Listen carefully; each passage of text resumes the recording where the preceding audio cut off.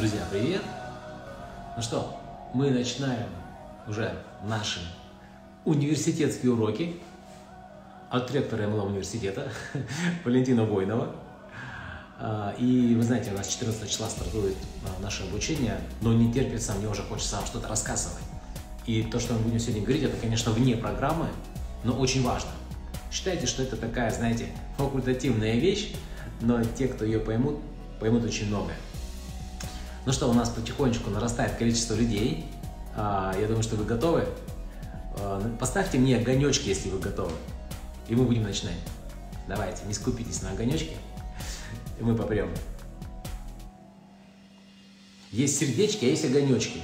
Сердечки, вы просто меня любите, а огонечки, что вы готовы. Ну супер. Погнали. Итак, у нас сегодня тема про культур-мультур.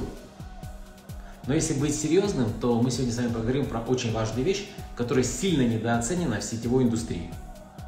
И, возможно, она недооценена сетевиками настолько, что мы не можем ее рассказать и показать миру, и поэтому нас не очень любят. Я для начала сделаю небольшую, ну, такую методологическую часть. А потом буду всегда очень благодарен вам, если будете задавать какие-то вопросы. Прямо здесь, вот в прямом эфире, я вам буду в прямом эфире отвечать. Договорились? Итак, поехали.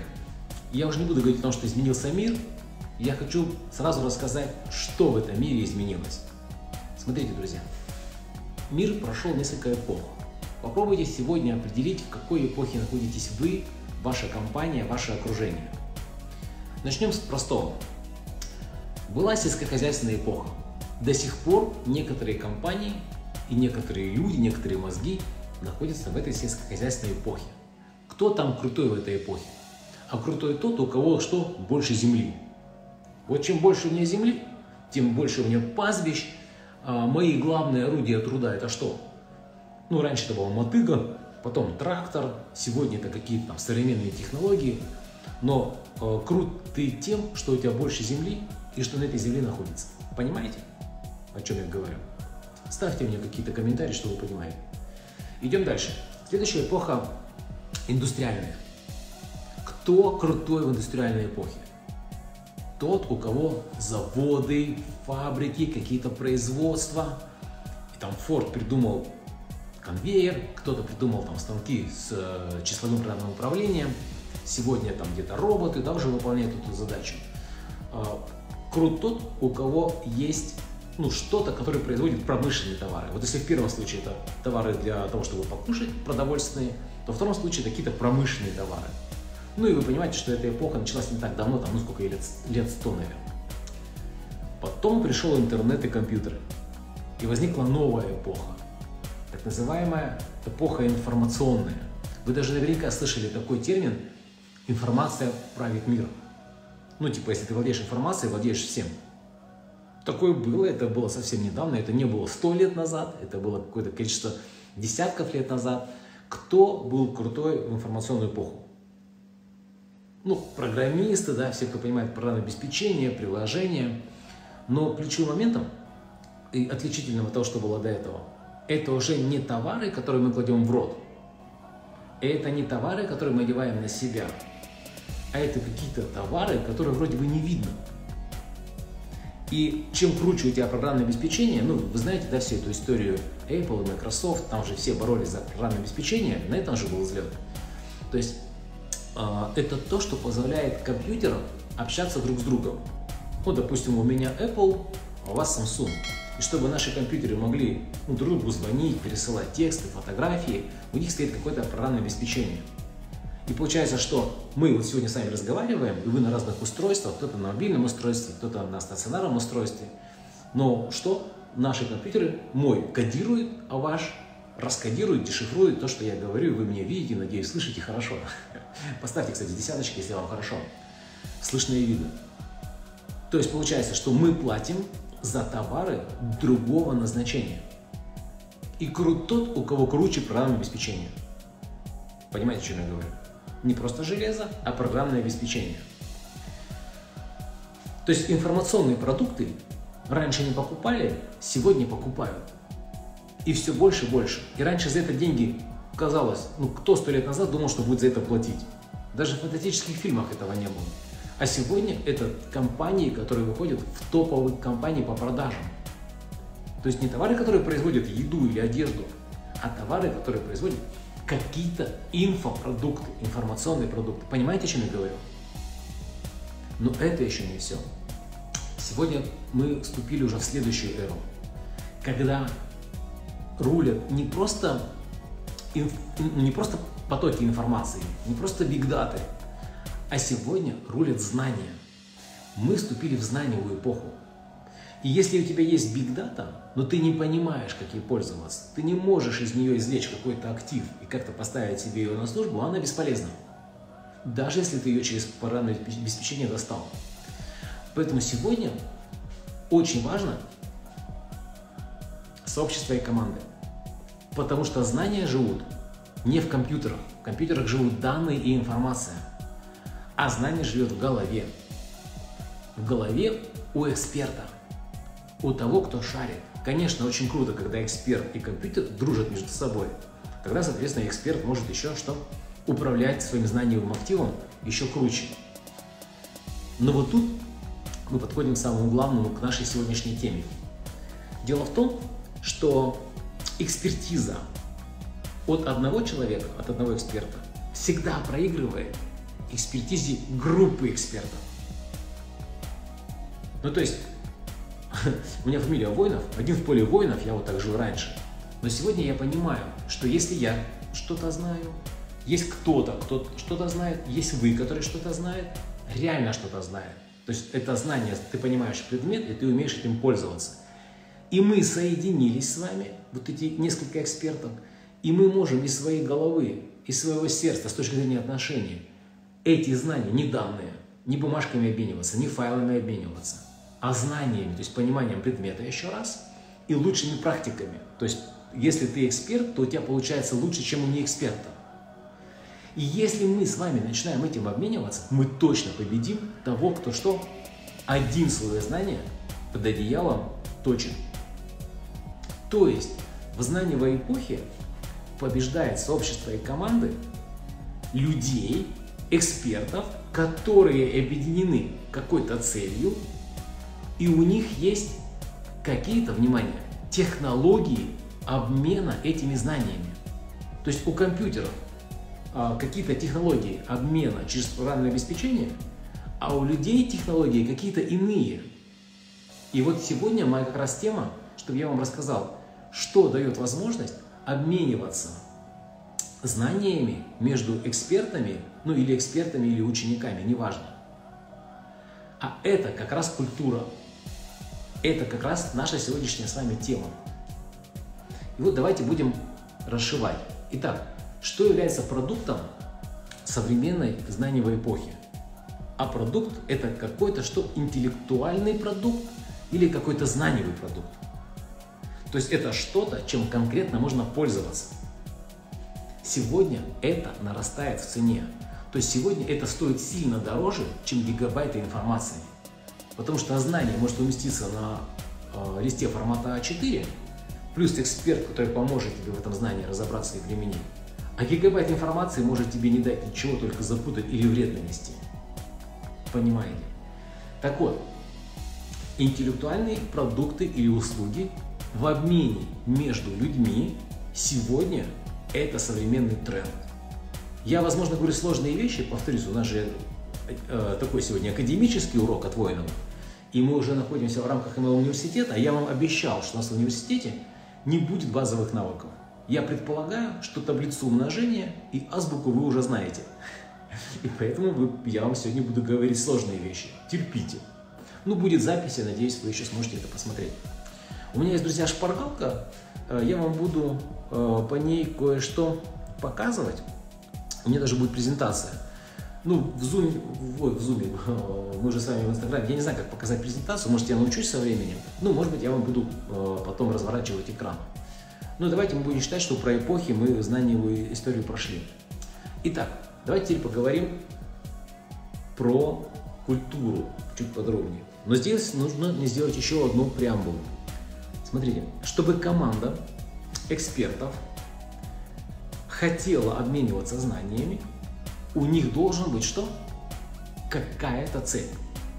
Какая-то общая цель. То есть не имея этой цели, у них незачем, ну, у них нет, знаете, желания искренне передавать что-то, что он знает.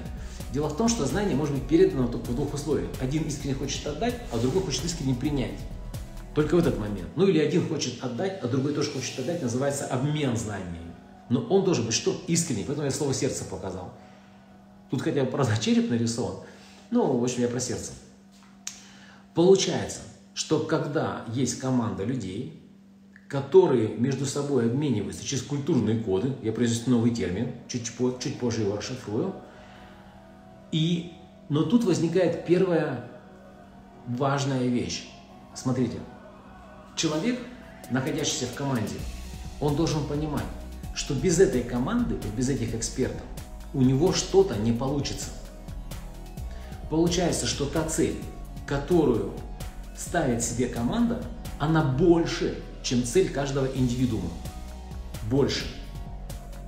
Угу. Ну, потому что если она меньше, ему нет смысла быть в команде.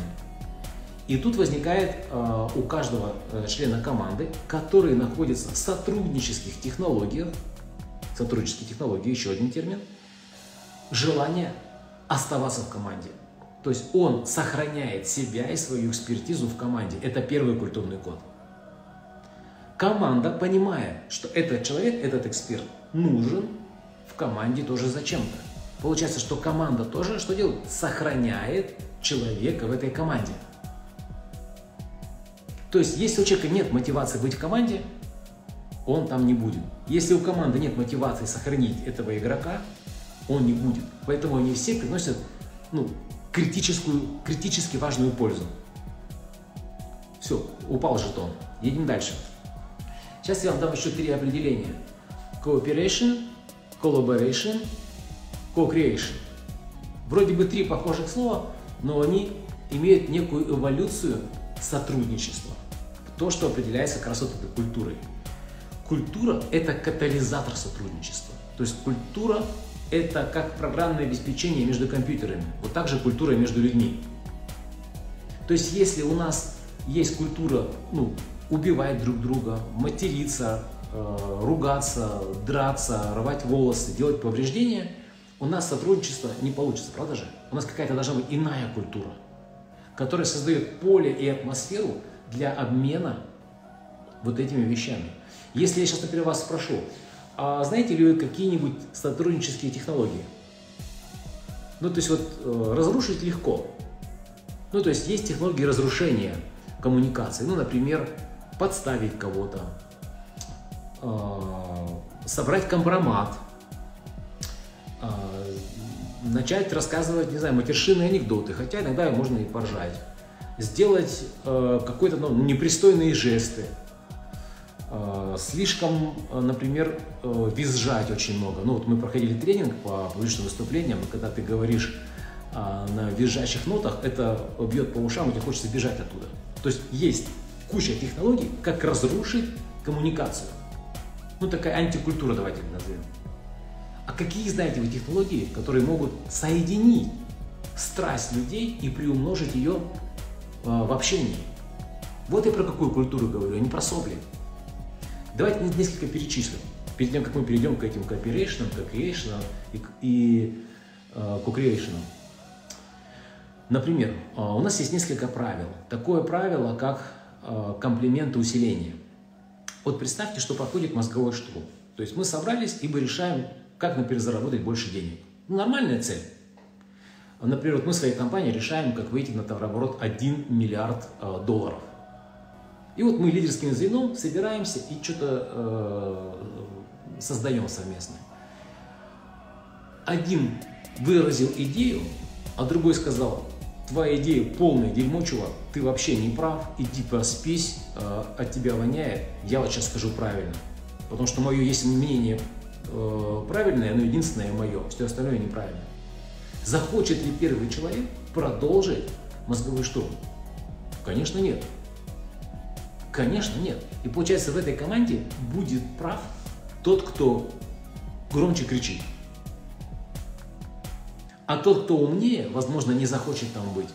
Понимаете, о чем я говорю? И поэтому у нас есть такой э, культурный код.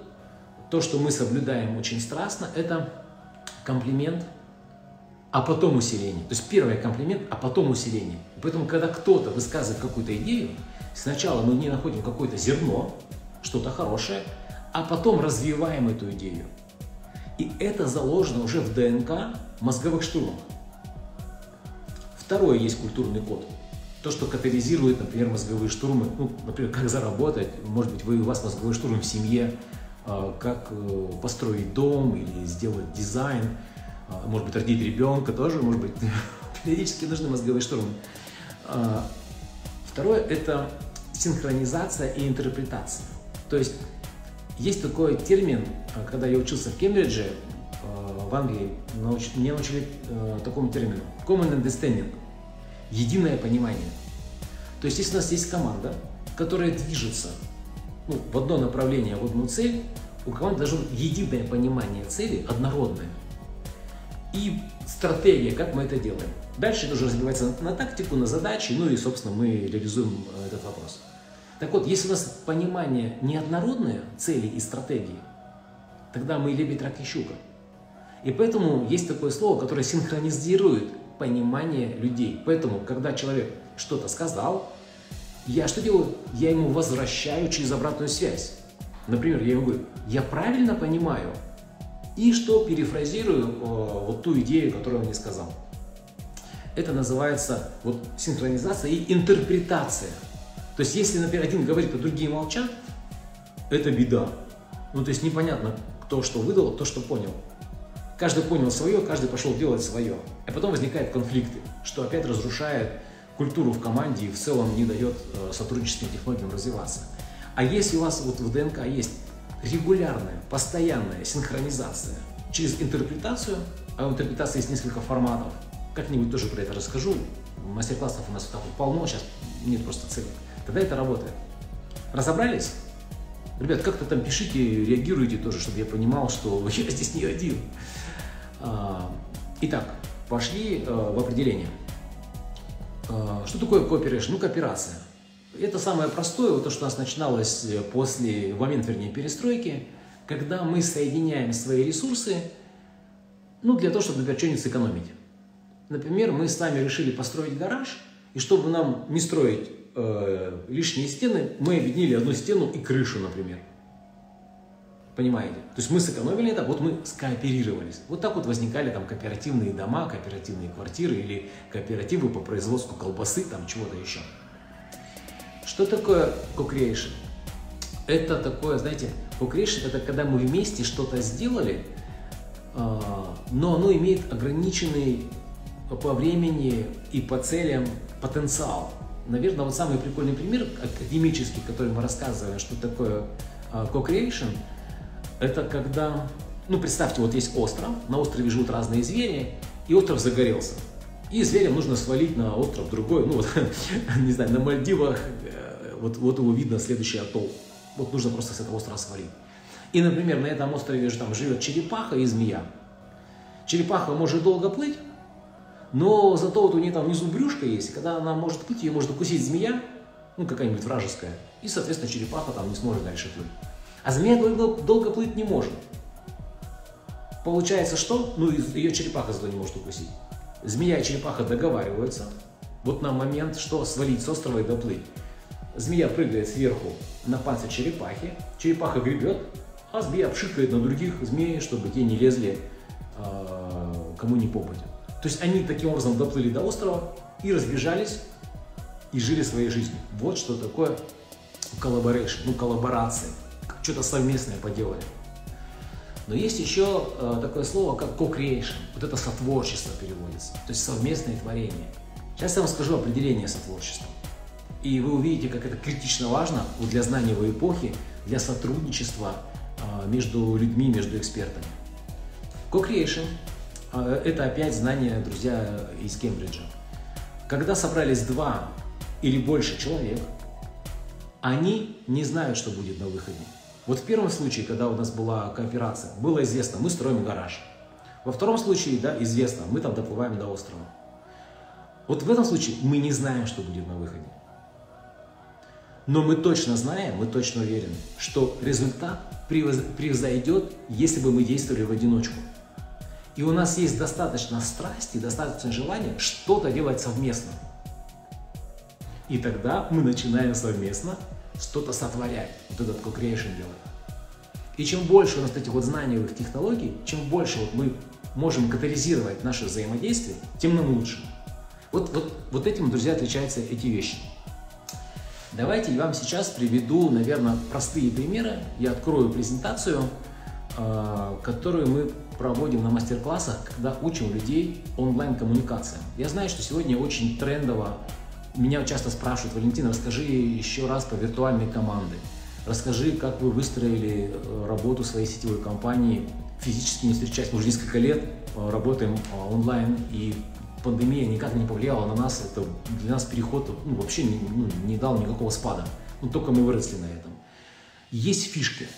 Вот э, готовы? Я сейчас вам эти фишки, друзья, расскажу. Тогда я открываю эту презентажку.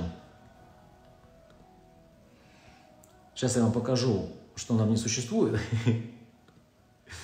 Вот, смотрите. Ой, видно? Вот, тут презентажка. И я буду ее листать и вам говорить. Итак, а, это называется онлайн-культура. Базовые вещи. Смотрите, я уже не буду говорить, почему онлайн это круто, но все понимают, что в этом есть определенный ресурс. Хотя все стремятся в офлайн, это отдельная тема, не буду про это говорить. Первое – это подготовка рабочего места. Выходить на связь э, нужно тогда, когда у тебя есть связь. Вот смотрите, я сегодня с вами работаю, и у меня, э, надеюсь, меня хорошо слышно и видно.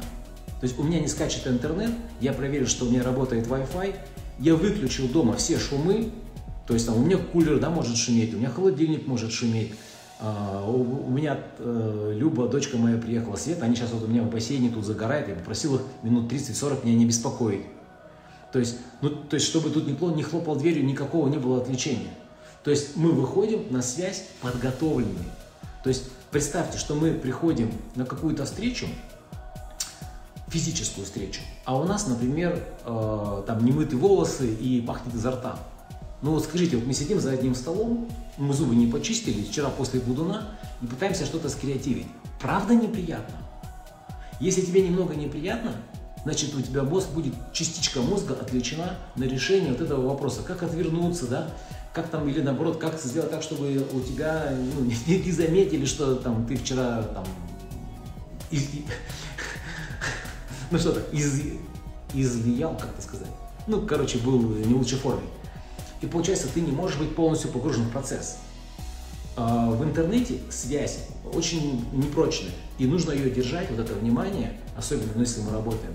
И если один позволил себе внутри команды вот что-то такое отвлечься, ну там, допустим, вышел, э, ну даже, наверное, мятая майка здесь э, не при делах, но вышел как-то, не знаю, там, в алкоголичке, да, такой там, с пивом, такой весь такой взлохмаченный, такой там, э, там с, с какой-то там протертым лицом таким с, скомканным. Э, значит, другой говорит, а почему он вышел, а я не могу? И начинает ломаться. Вот с этих мелочей начинает ломаться онлайн-коммуникация, начинает страдать культура, и, и не возникает никакого э, не то что такое creation, collaboration никакого не будет. Поэтому ты настраиваешь, чтобы тебя было видно отлично и слышно, и не было никаких отвлечений. То есть э, это стрёмно, когда ты делаешь на бегу, стрёмно, когда ты делаешь это в автомобиле, стрёмно, когда у тебя там на фоне кричат дети, лают собаки. Я даже окно закрыл, чтобы не было слышно соседских петухов. Хотя мне жарковато здесь. Но я понимаю, зачем я это делаю. Чувствуете, к чему я клоню? То есть настраиваешь освещение, настраиваешь звук. Я купил себе треногу, ребята. Я с вами стою стоя, а не сидя, потому что я понял, что когда ты разговаривал и стоя, то больше энергии. Когда я сижу сидя, мне такое расслабленное состояние. Когда я стою стоя, я могу что? Двигаться руками, что-то там махать, там, показывать вам компьютер. Это гораздо э, лучше работает. Едем дальше. Есть э, простое правило. Вот мы такие собрались на Zoom. Вы собрали э, свою команду или пришли сами и вас, например, 10 человек, и, например, трое не включают камеру, что это означает? Для нас это означает, что встречи нет. Это такой культурный код. Если ты не вышел с камерой, это все равно, что ты пришел за круглый стол на встречу, но что? Отвернулся. Или в принципе не пришел, стул стоит пустой. То есть очень важно а, не просто а, быть, э, включить камеру и такой лежать там. Вот я когда провожу какие-то презентации, вебинары, можете обращать внимание. А, например, у нас Zoom, и там, не знаю, 200 человек. Ну, то есть там, не знаю, там сколько там, куча экранов, ты их листаешь и пролистываешь. Как только я вижу, например, включена камера, виден потолок, не видно человека, я удаляю этого человека, удаляю камеру его. Если я вижу, что человек, допустим, у него так сделана тень, а сзади окно его не видно, я удаляю это видео. Потому что я считаю, что ты культурный код не поддерживаешь. И поэтому ты должен выходить на встречу, если ты хочешь реально научиться, или ты хочешь создать виртуальную команду, вот таким образом. Нет камеры, не пришел на встречу. Нет интернета, не пришел на встречу. Плохой звук, э, прикинь, там 150 человек, из-за того плохого звука все испытывают стресс. Еще один хинт есть. Когда ты приходишь на Zoom-конференцию, ты не только включаешь камеру, но ты выключаешь микрофон. Потому что если у тебя микрофон включен, то услышат, что твои шорохи, стуки, люди. И если каждый стукнет по разу, 150 человек, представьте, что будет. Получается, что если ты на 3 человека, на 5 человек не можешь наладить, ну, вот это онлайн-общение, как ты будешь масштабировать свой бизнес на тысячу человек? Как? И эту культуру нужно внедрять. Поэтому культуру нужно, с одной стороны, знать, Культуру нужно что? Соблюдать самому и влиять. То есть вот если люди приходят твои, твои представители, ну ты ему пиши в личку, позвони ему, напиши ему как-то сообщение, повлияй, что он в следующий раз так не делал. Вот это все культурные коды, которые что? Либо вот ты пришел, и вы знаете, как обычно, как меня слышно, как меня видно, и полчаса, короче, про это. Кому интересно это смотреть? Мы должны сразу прийти и сразу начать работать. Это катализирует. Если мы понимаем, что культура не развивается, там нормальных людей не будет. И мы на этом просто, друзья, теряем. Едем дальше. А, ротация пространства. Это тогда, когда ты можешь что? А, менять свой угол зрения. То есть, вот, например, я могу камеру поставить здесь, пообщаться с вами, а могу выйти сейчас на бассейн или в баню. И вы будете видеть а, разный задник, вы будете видеть там закат, что-то еще. И это будет тоже создавать определенное ощущение энергетическое. Не буду этом останавливаться, это, это хинт. А, часто бывает а, у нас так, что вот у нас включен экран, а мы пальцами набиваем какой-то текст. Ну, выводы, например, или работаем в чате. Так вот, критично важно, что когда ты а, находишься, например, в зуме, тоже выключить микрофон, чтобы не было слышно, как ты щелкаешь пальцами. Дальше едем. Просто сидеть и смотреть – это мало это мало. Я вот сегодня вам выдаю какой-то контент, не знаю, записывать его или нет, но у нас есть привычка. Мы фиксируем главные выводы и инсайты либо где-то в чате, либо, что лучше, в Google документах. Почему плохо фиксировать в заметках? Потому что заметка доступна только тебе. А если это Google документ, в котором есть, например, э, колонки, или там понятно, кто написал, ну там есть никнейм или что-то еще, то ты фигачишь выводы, другие фигачат выводы, и ты тут же видишь, как у тебя что? Растет вот этот вот э, документ с выводами. И получается, после работы с экспертом, после какого-то тренинга, ты просто берешь готовый материал для внедрения. И он не от тебя только, потому что ты можешь что-то пропустить, а другой может пропустить что-то другое. Он для всей твоей команды. Вот вы когда будете приходить к нам на MLM университет, я вам рекомендую так поступать. Вот вы пришли командой, как бы рекомендовали, ну, помните, там 3 плюс 1 или что-то такое у нас было. Работайте по этому принципу. Больше просто унесете. Ну, это же выгодно. А, мы рекомендуем работать с двух устройств. Например, у тебя на компьютере может быть сама картинка из Zoom, а в телефоне ты можешь работать с Google формами или заметками. Или наоборот. Потому что когда ты, например, только с айфона вышел, и тебе, ты переключаешься в заметки, тогда гаснет твоя камера, тебя не видно. Поэтому, коль мы сегодня говорим про виртуальное сотрудничество, про виртуальную культуру, а, это тоже хин, имеет два устройства. Еще, друзья, одна подсказка есть. Когда у тебя маленький экран на компьютере, ну или на айфоне, ты видишь не всех, и, ну, и ты пропускаешь вот какие-то невербальные признаки. Поэтому, если вы находитесь дома, мы рекомендуем подключать э, к девайсу. Вот у меня сзади стоит телевизор большой. Когда э, я провожу большие зумы, я стараюсь подключать туда, когда у меня что? Картинка широкая, большая, я всех вижу. Это тоже один из хинтов. А, что еще?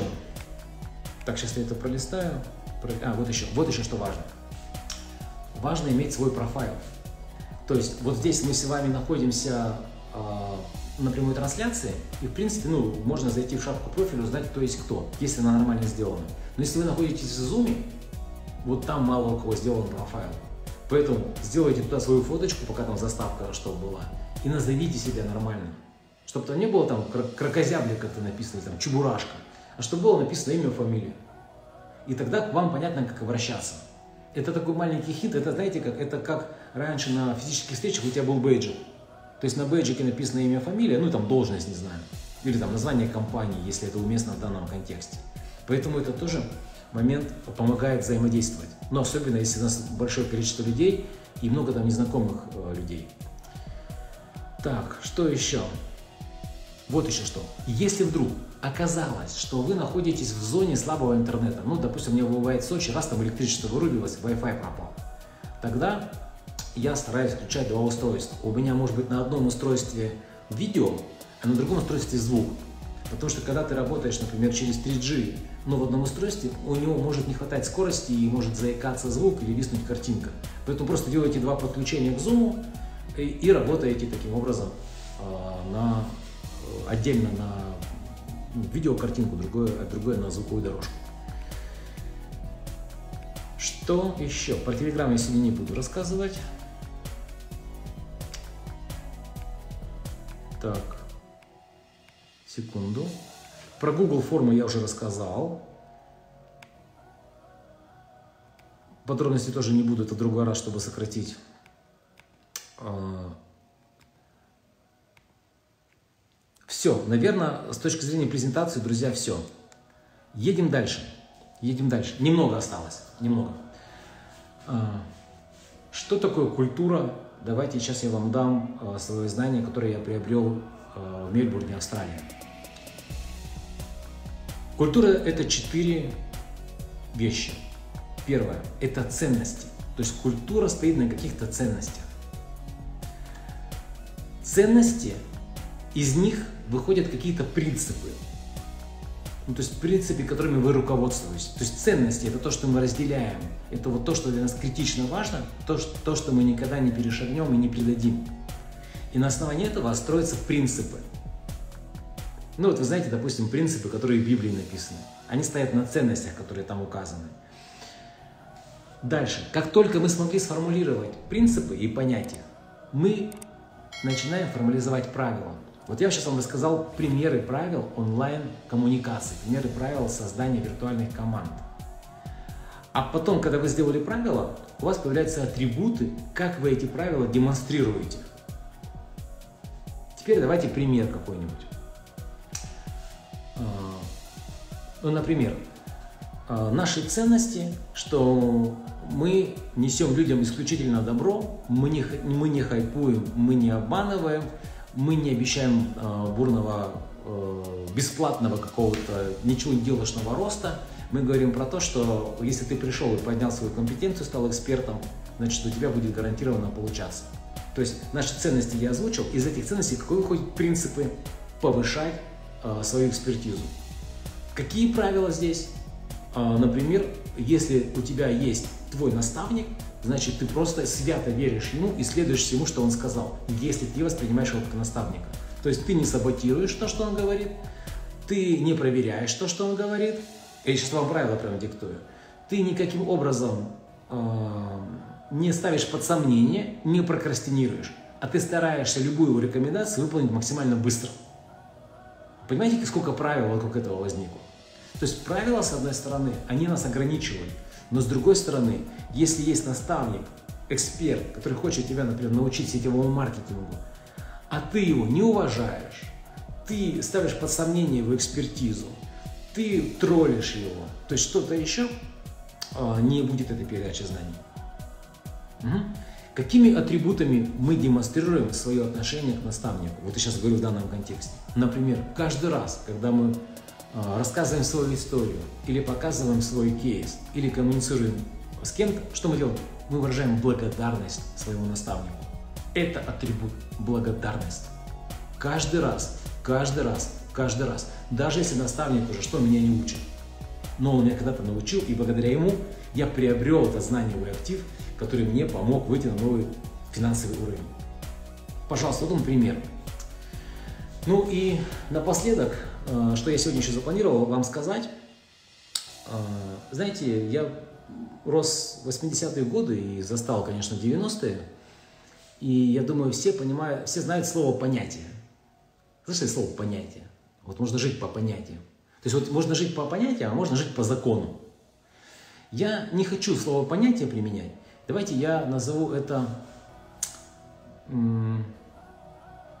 нормы морали. Вот есть нормы морали, а есть нормы права. То есть нормы права – это то, что написано в законодательстве, а нормы морали – это, ну, это вот те понятийные, культурные вещи, которые меня соединяют ну, с каким-то сообществом. Так вот, если внимательно посмотреть на все, что я говорил, то есть очень много жизненных аспектов, когда нормы морали сильнее, чем нормы права. Понимаете, о чем я говорю? Если вы посмотрите на вот эти комьюнити, которые сегодня ну, держат весь мир за какие-то места, многие из них живут по своим нормам морали вот этого сообщества.